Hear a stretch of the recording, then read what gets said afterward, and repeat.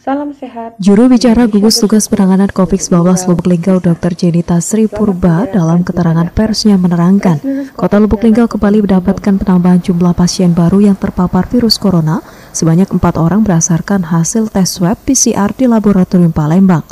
Dengan penambahan empat orang tersebut, saat ini jumlah keseluruhan sudah terdapat 47 kasus yang terkonfirmasi positif COVID-19 sehingga kota Lubuk Linggau merupakan kota kedua terbanyak pasien positif di Provinsi Sumatera Selatan.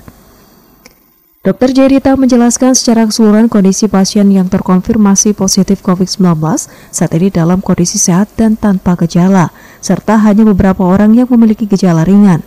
Ia juga meminta masyarakat agar lebih waspada dan menghimbau agar mentaati aturan pemerintah seperti rajin mencuci tangan, menjaga jarak serta tetap di rumah. Sementara itu diketahui jumlah ODP mencapai 189 orang, pasien sembuh sebanyak tiga orang dan satu orang PDP meninggal dunia. Kasus 44, usia 4 tahun, jenis kelamin perempuan, Lubuk Linggo Timur 1, Kelurahan Air Putih. Kasus 45, berusia 32 tahun, berjenis kelamin laki-laki, Lubuk Linggau Timur 1, Kelurahan Air Putih. Kasus 46, usia 31 tahun, perempuan, Lubuk Linggau Utara 2, Kelurahan Kalisrayu.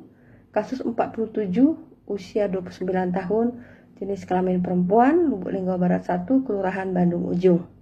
Semua status kasus bersifat lokal.